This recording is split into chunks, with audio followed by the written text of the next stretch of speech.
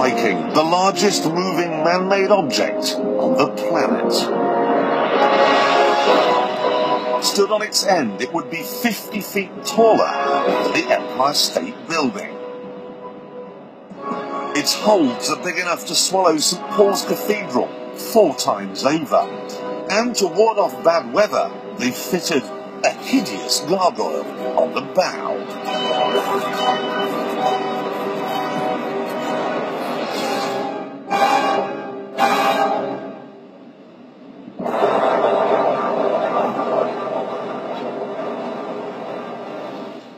That was a great plan. Worked a treat. But then, what do you expect? I mean, we are going round the Cape of Good Hope, just off the tip of southern Africa, right in the middle of winter. I hope this thing's got a big engine. Oh,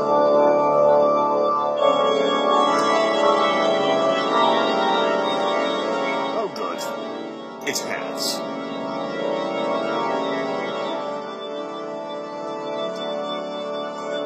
That's wrong, and that should be lit, I'm sure of it. That's the gearbox. Boiler. Another boiler.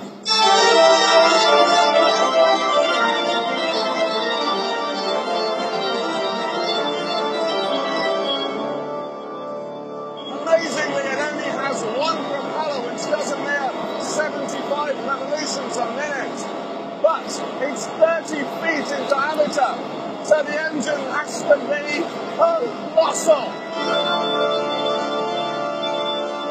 All the numbers in this ship just boggle the mind, including the temperature down here.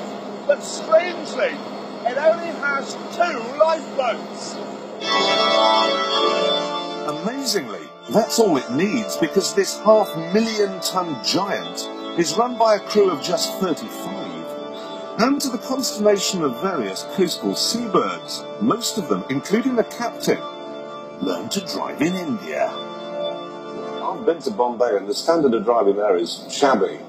So, But we are not on the roads, we are at sea.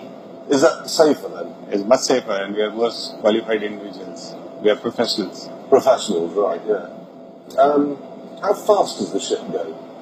When fair weather, she could do as much as 16, 16 and a half knots. Does the weather affect it? Oh, very much. Uh, if you have adverse weather, she comes on quite a bit. Now, we hear a lot of stories about how long it takes to stop one of these things.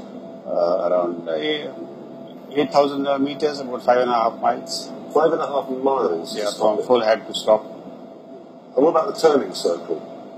Turning circle, now this, uh, these factors depend on what sort of weather condition. You see, normally in fair weather, she might turn within two, two miles.